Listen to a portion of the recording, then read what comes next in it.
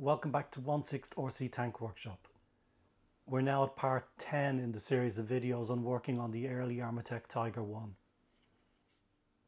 In this video I'll be working on the front end of the Tiger. I'll be working on the front mudguards, also track hangers for the front of the hull. My aim with the front mudguards is to try to make them more like the original Tiger in the way they fit to the hull also to add the retainers that hold the mudguards in place while travelling.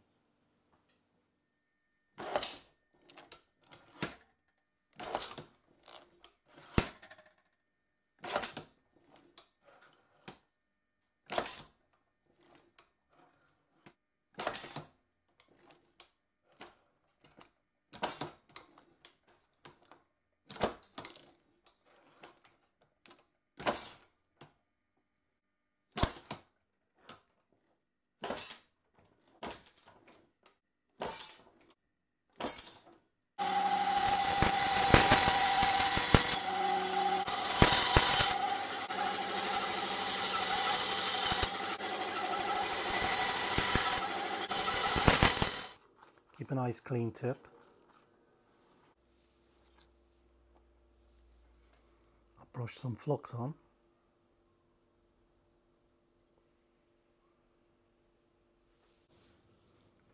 I'm just tinning the brass angle with solder.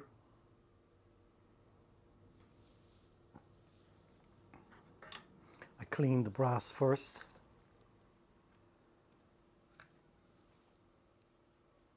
I'm using a fairly big tip.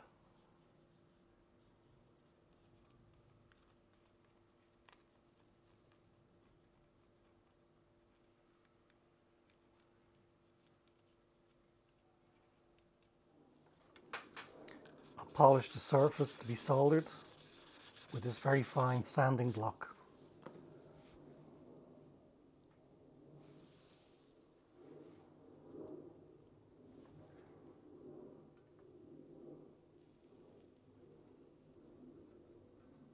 and I'm just getting a bead of solder around the edge.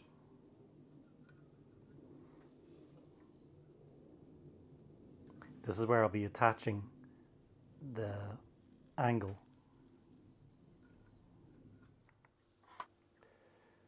To join the to join the angle onto the main body of the mudguard, I've clamped everything in place. Solder on both sides some flux. Now I'm going to apply some heat.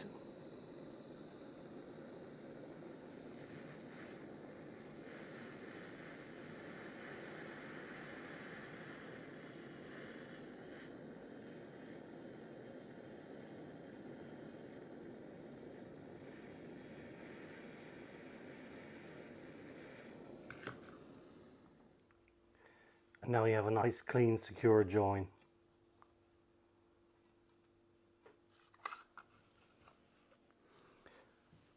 Next I just mark out a line for my rivets.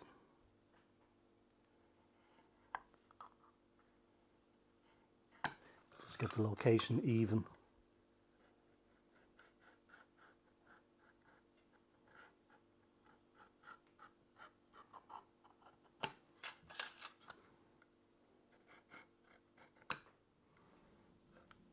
I'm now just plotting out the locations of the rivets.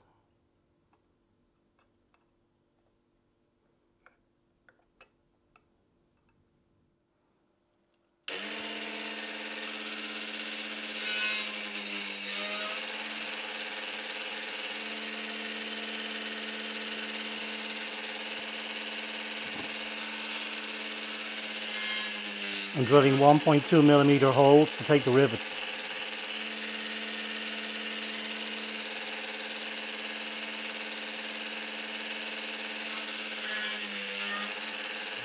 That's all the holes drilled now to take the rivets.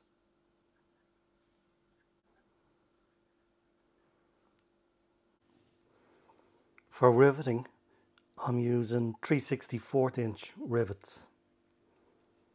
You could probably use one 32nd, but they'd be very fine. The 1.2 millimeter hole is a nice push fit. they push fit securely into it. Next, should have a daintier pliers, but watch your eyes for this part. I wear glasses, so I'm okay.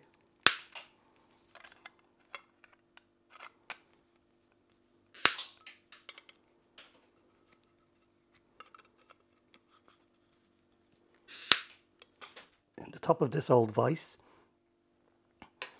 I've drilled out a couple of holes with a ball headed milling attachment for different sizes of rivets. So I just place the rivet over the hole. A couple of light taps, doesn't take much. And the rivets are secure. So here we have the components we've made so far. The mudguard sides, everything soldered and riveted, and the main section of mudguard. Next will be to make up and fit some hinges. And now you can see I've got my hinges cut to size,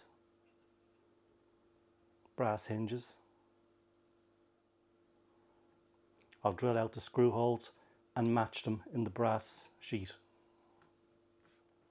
I've cut all my hinges to size, drilled them appropriately, carefully measuring against the mudguard panels.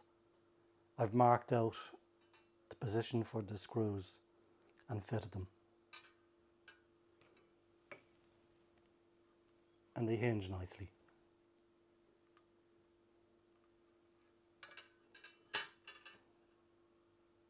Next I'll make up the slider bar. I'd just like to say a big thank you to everybody who's subscribed so far. If you're enjoying the videos, please remember to hit that like button, subscribe and share the videos. Subscriptions have been a bit slow lately, so any new subscriptions are appreciated. It's the only way the channel is going to grow. It'll cost nothing to subscribe, but subscriptions are what keep the channel going subscriptions, likes, comments, all goes towards the YouTube algorithm promoting the channel. If you have any comments, I will try to reply to all comments. If you have any suggestions for the channel, please make a comment. If there's something you don't like in the videos, please leave a comment. Don't just hit that dislike button. So here's the complete mud guards. I fitted the sliders, hinges are secured. I've also made these new fittings which are more like the real thing rather than the Armortek style. I'll use epoxy to fix these into the holes on the hull. These are the holes that take the Armortek fittings. I have found that the, the depth on some of them wasn't equal. So the mudguards may need a bit of shimming.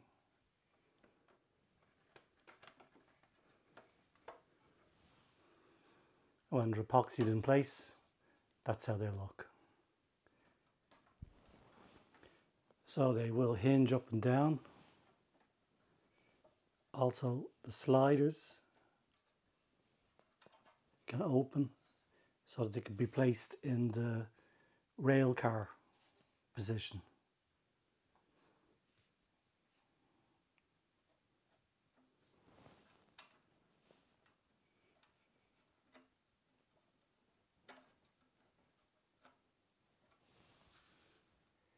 Here you can see the underside of the mud guards.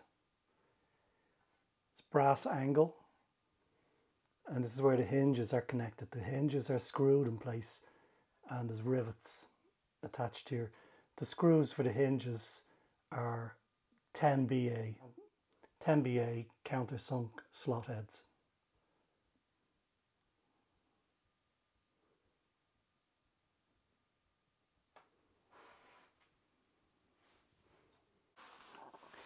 Here you can see both mud guards fitted in place. Not permanently fitted yet, I'll paint them first. Here we have one of my other Tigers for which I made my own mud guards. But I used the attachment fittings from the Armortek kit. So you have this like a U shape which is bolted into the hull. and then this section here which comes at the end of the mudguard just wraps around the pin. That isn't how the real Tiger mudguards were fitted. You can see in my revised mudguards that these are much more like the real Tiger fittings. There's a central pin coming from the, the hull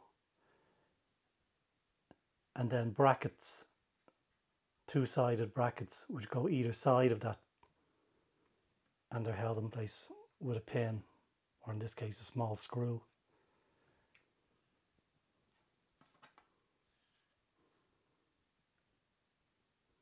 This is much closer to the real Tiger mudguard.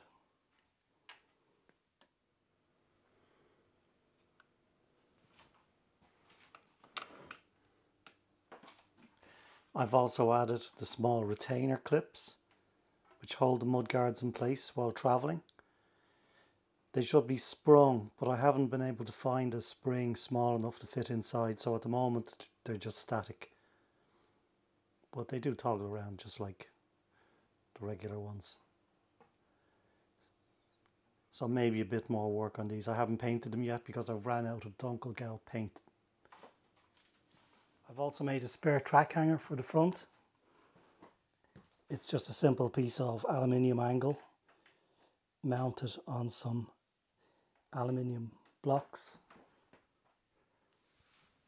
The track hangers were generally a field edition. They didn't they weren't like this from the factory.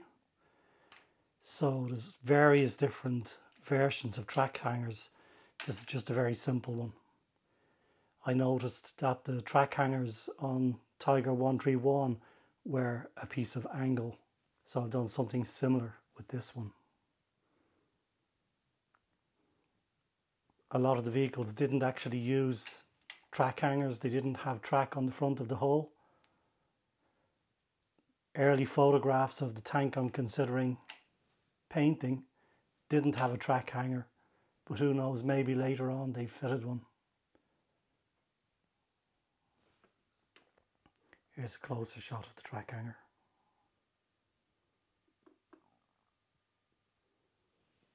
I like to have I like to fit the track hanger as it's convenient way to carry spares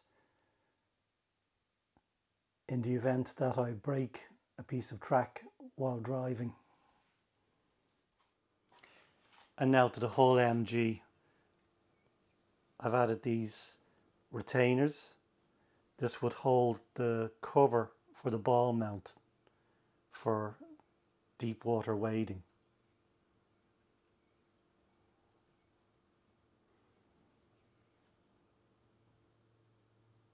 They've got wing nuts.